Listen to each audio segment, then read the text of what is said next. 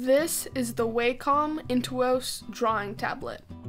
On this tablet there are five buttons, four of which are customizable, and one of which is the power button. This is the pen that comes with your Wacom Intuos drawing tablet. The pen has two customizable buttons and a pressure sensitive tip. You can connect to the tablet using your PC or Mac computer, either using Bluetooth or by a USB cable. The USB cable is also used for charging your tablet.